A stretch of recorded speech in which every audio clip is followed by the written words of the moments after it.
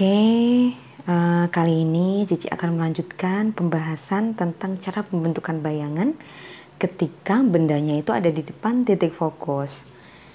Di untuk bagian yang ketiga, benda di depan fokus. Oke. Langkah pertama yang perlu kalian lakukan sama seperti yang sebelumnya, Gambar terlebih dahulu sumbu utamanya.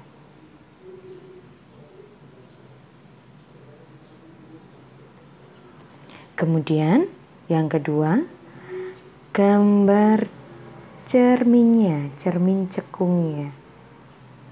Oke. Untuk memperjelas bahwa ini cermin cekung, bagian belakang dari cermin dikasih tanda seperti ini. Selanjutnya, tulis titik fokusnya, jari-jari kelengkungan dua kali fokus. Oke, misal ada sebuah benda yang berjarak 4 cm di depan cermin dengan fokus besarnya 6 cm berarti R sama dengan 12 cm Tentukan sifat bayangan yang dihasilkan. Oke. Langkah selanjutnya yang perlu kita lakukan yaitu gambar terlebih dahulu posisi dari bendanya. Oke.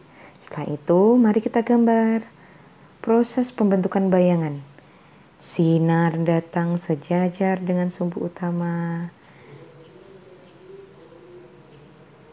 Dia akan dipantulkan menuju titik fokus. Wah, kurang pas.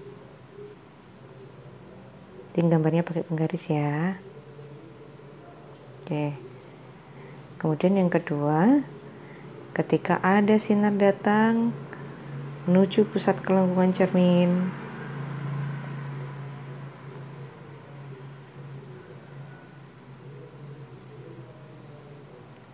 maka dia akan dipantulkan kembali.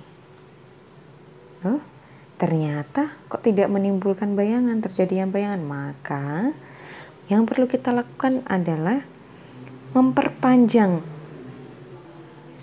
sinar pantul yang dihasilkan.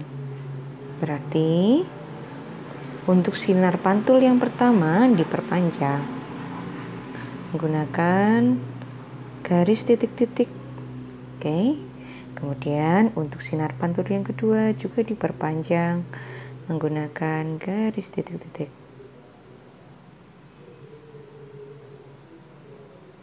Oke.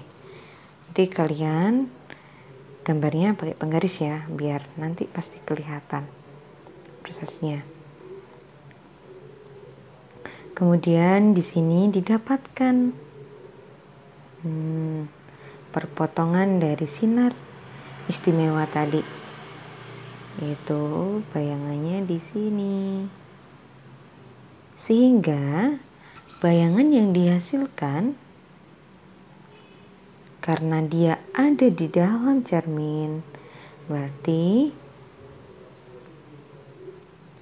maya tegak dan diper besar.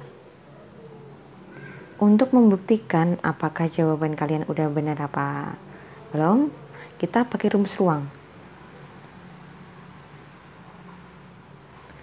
Ruang benda ditambah ruang bayangan